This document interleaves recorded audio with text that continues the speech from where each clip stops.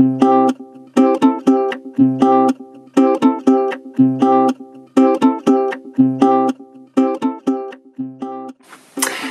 I'm Liam and I'm a researcher at the University of Oxford and I study insects. Today we're going to be thinking all about bees, the different species and the different places that they live. We're also going to think about why bees are in trouble and we've got a little project for one of the ways that you can help bees at home.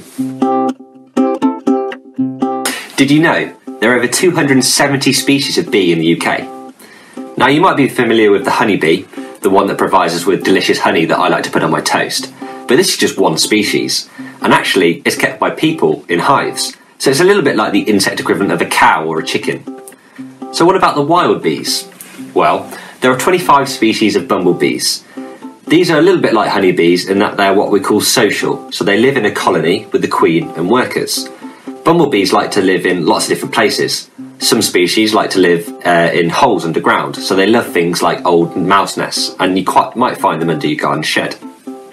Other species of bumblebee like to nest in long grass or piles of vegetation, so you might find them in areas of your lawn which are left unmown or in compost heaps. There's even one species of bumblebee, which is a more recent arrival in this country, called the tree bumblebee, which like to nest higher up. So it loves things like holes in trees, and bird boxes, and even the eaves of houses or people's lofts. So keep an eye out for that one. So the other 250 plus species of bee in this country are what we call solitary bees. So these don't have colonies with queens and workers like the bumblebees and the honeybee, but rather they have individual females which do all the work by themselves. So these females will go to flowers, collect pollen, and then bring it back to a nest, which they will make lots of different individual cells. And each cell they'll put a little pile of pollen and lay an egg on it and then that then hatches, the larva eats the pollen and grows into an adult bee. Now, most of the time, that will then wait until the following year before it comes out itself. Now, solitary bees are a very diverse group. There's all sorts of different types of solitary bee, and some of them are absolutely tiny and just look like little flies at first glance, and others are much larger, even larger than a bumblebee like the carpenter bees. They also live in a whole range of different places. Lots of solitary bees make nests underground. Uh, a big group of these we call the mining bees, and you might see those nesting in patches of bare soil or even in lawns. And sometimes you can find little volcanoes of, of dirt, which is the uh, soil that they've excavated out when they were digging their nest. Other bees are what we call cavity nesters. So they like to nest in any kind of hole, and these are normally higher up. This includes uh, mason bees and leafcutter bees. Now, mason bees, when they find a suitable hole, will again go collect pollen in a similar way to the mining bee, and they'll put it into the hole, and then they'll separate off each individual cell with a little bit of mud Leafcutter bees do a very similar thing, but instead of using mud, they actually chew off little bits of leaf which they use to wrap up the pollen and the egg. And finally, there's a massive group of solitary bees, lots of different species, what we call cuckoo bees. Now, these let other species of bee do all the hard work for them and then sneak into the nest at the last minute and lay their own egg on the pollen. This egg then hatches quickly and eats all the pollen before the original bee gets a chance to hatch and eat it itself. So it's a little bit like its namesake, the cuckoo bird. Most species of bee in this country actually have an associated cuckoo bee.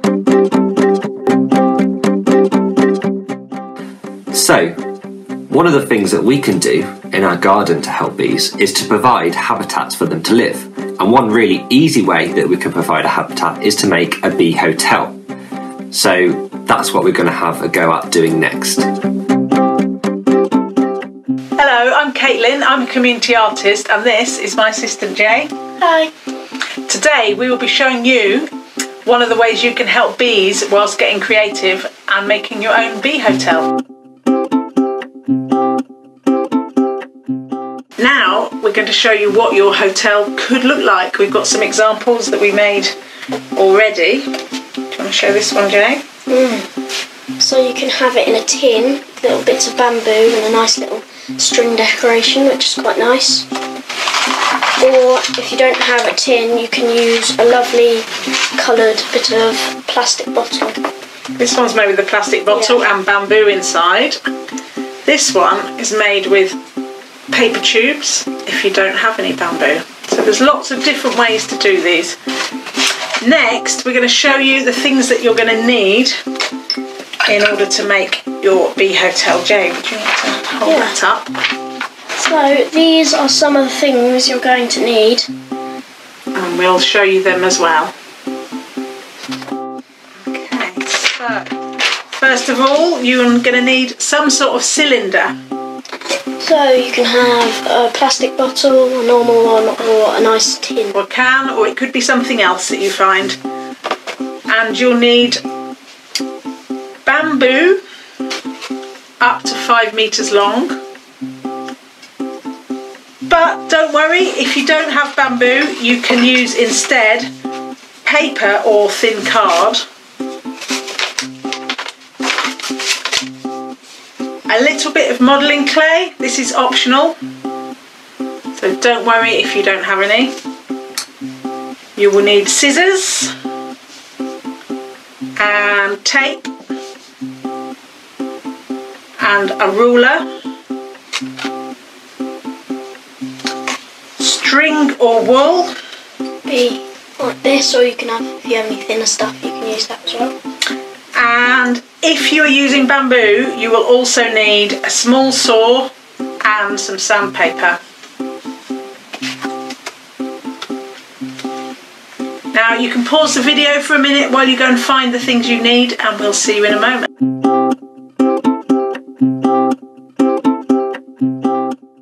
So now it's time to get making. Yay! so first of all, choose your cylinder. If it's a plastic bottle, uh, get an adult to help you with cutting the ends off it. So, I'm gonna make a hole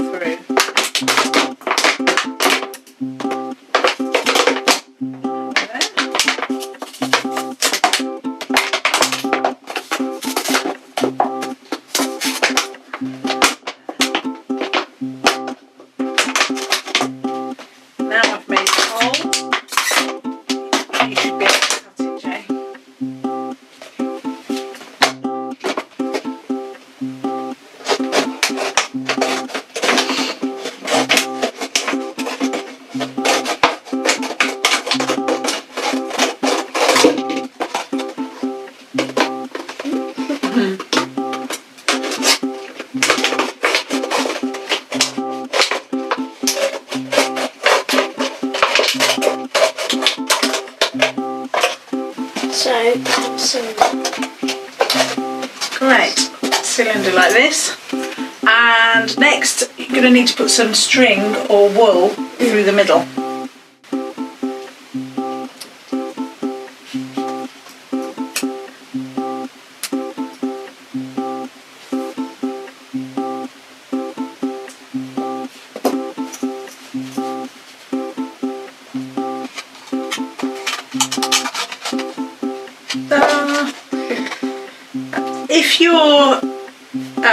Using a Pringles tube instead, then ask an adult to cut that in half for you because they're a bit tougher.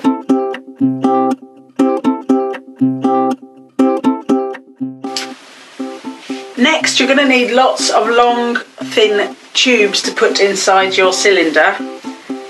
So they could be like this, rolled paper or thin cardboard, or they could be sawed and sanded bamboo. First job you need to do before you make anything is to measure your cylinder. So Jay's going to measure ours. 10 centimetres. Okay, then you need to take two centimetres off that measurement. Whatever your measurement is, take away two centimetres. So what's So ours? be 8. Eight. And write down that measure, cylinder me- measurement with two centimetres taken away. Okay? Yours will be a different size probably. Now you've done that, um, we're going to show you how to make the paper tubes. Now, first thing you need to do is use that figure you've just written down and you're going to measure it onto your piece of paper. So, mark it. Yeah.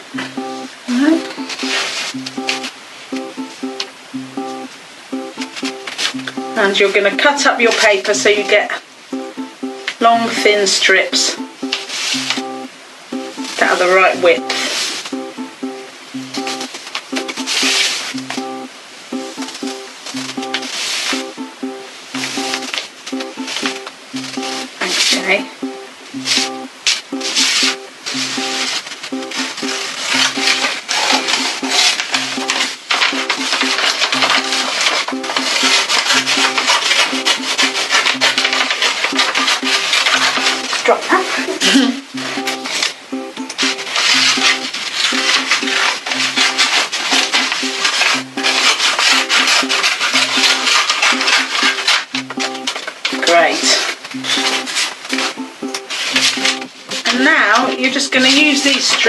You're going to need to make loads of them, to roll loads of little paper tubes. Just gonna roll it up with your fingers.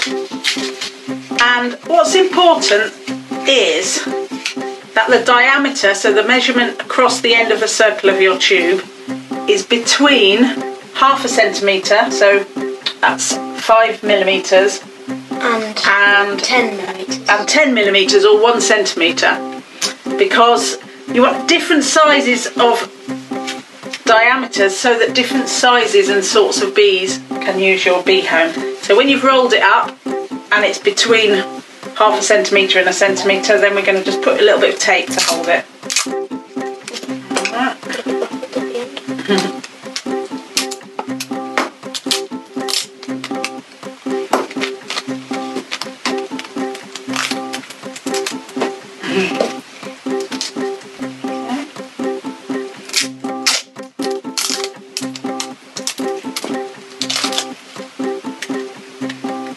Go. Really simple, and you're going to make loads and loads of these. And as you make them, you're going to put them into your cylinder. And when you've got loads and loads made, you'll start to have enough.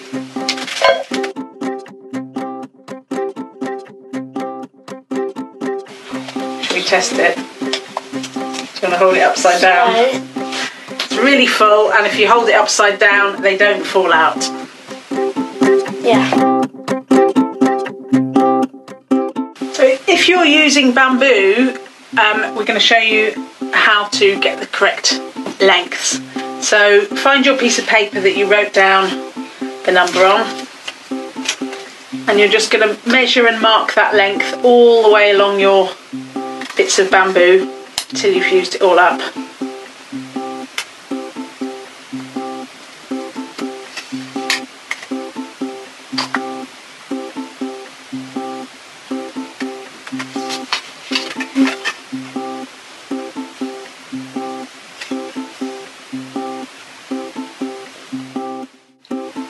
And so on. And then next you're going to get an adult to show you how to saw safely and you're going to saw up your lengths of bamboo. So, very careful of our fingers and we're going to use a really secure surface.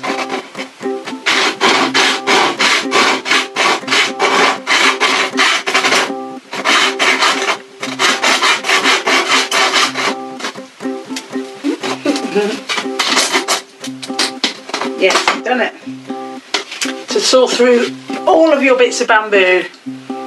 Now, when you've sawed enough bits to fill your whole cylinder, next important thing is going to be to sand them.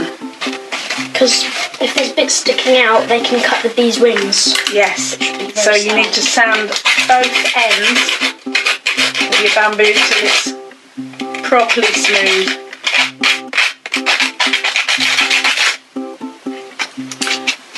Next, you're going to have a look at your bamboo and see if it's got a hole all the way through the middle or if it's blocked at one end. This one's got a hole all the way through the middle.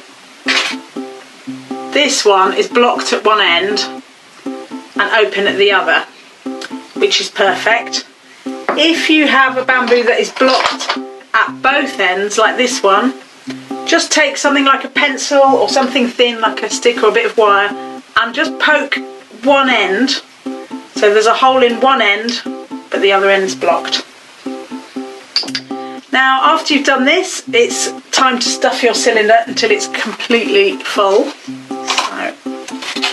And remember to keep your bit string in if you're using a plastic bottle. Let's get these in.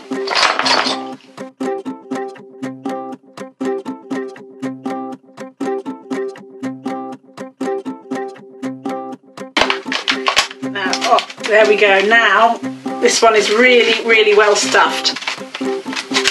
And have a look at each end. You'll see some of the bamboos will be wholly all the way through. And those bamboos, if you have any clay or modelling dough, just stuff some clay in one end. So choose which end is going to be your covered end and stuff some clay in the end of the bamboos that are I've got holes all the way through so that they've got one end blocked. Now don't worry if you haven't got any clay, that's fine.